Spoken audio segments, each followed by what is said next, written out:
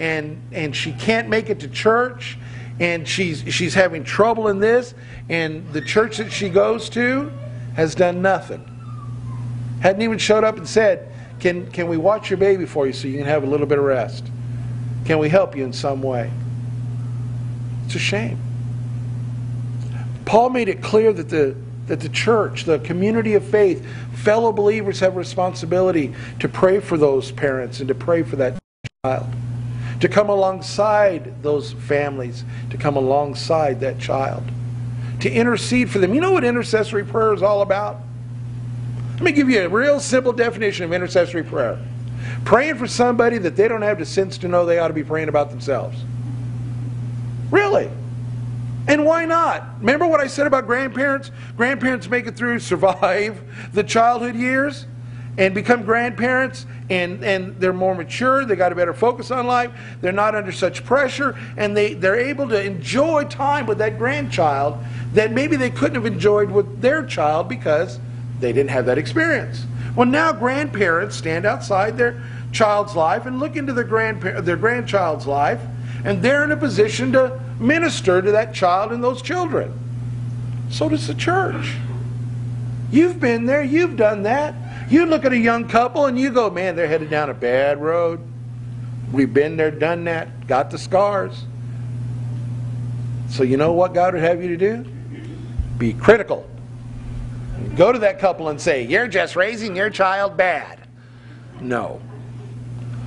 He would have you to go to that family and, and say, I want you to know I'm praying for you. Is there some way we can help you?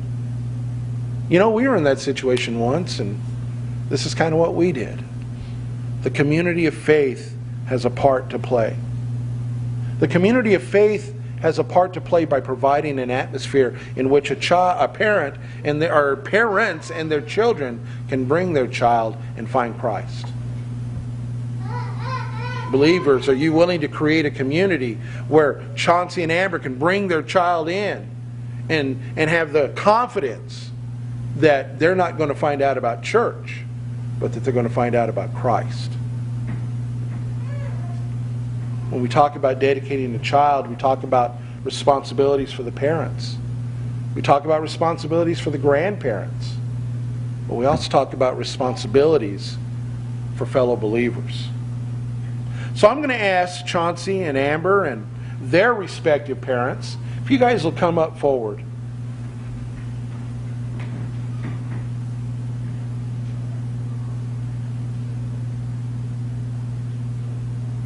She asleep.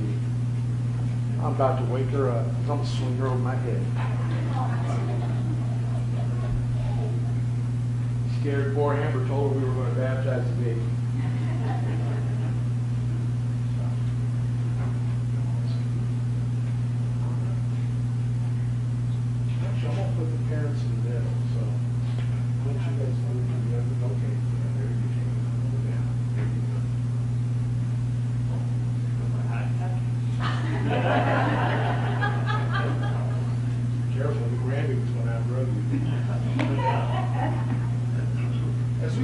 morning, uh, Chauncey and Amber, in all seriousness, I ask you, you guys willing to dedicate yourself to bringing this child up with the goal of your child finding a relationship with Christ and being useful to him in his kingdom work?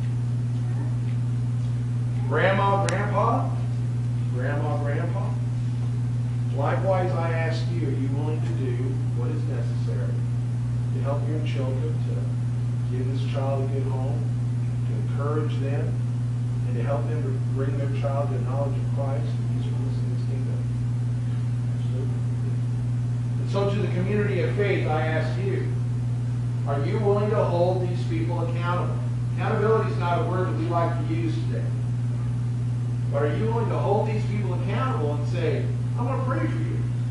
I'm going to check up on you. I'm going to reach out to you. I'm going to do what I can do that God has given me to do to help you to raise his child so this child come to know Christ and be useful in his kingdom. be you willing to do that, say amen. amen. I say this all with real seriousness because, you know, I have the privilege sometimes of standing before a couple who's willing to get married and they make a vow before God that they're going to live in that relationship. This is a vow before God we make. So let's pray.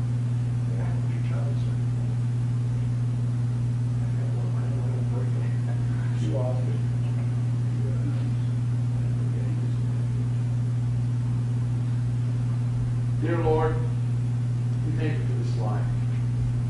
We thank you for Kennedy so much. We thank you that, Father, you have blessed Chauncey and Amber with her. I pray, Father, for this child. Lord, I ask that you would take her, that you would help her to grow to know you, to know how much you love her. I ask, Father, that you would strengthen her parents and give them wisdom beyond their years to, live and to walk in such a manner that leads their child not just to productivity as a, as a member of the human race, but, Father, to meaningfulness in the body of Christ. I pray for her grandparents, for her great-grandparents, and ask that you would strengthen them, give them discernment and wisdom to know what you would have them to do to help this child come to know you and to be useful in your kingdom. Father, for the community of faith, for the church, I ask that you would be with us, Father, and help us to minister to them, to hold them accountable, to reach out to love them as you have loved us. Father, bless Kennedy's life. I pray, Father, she would be useful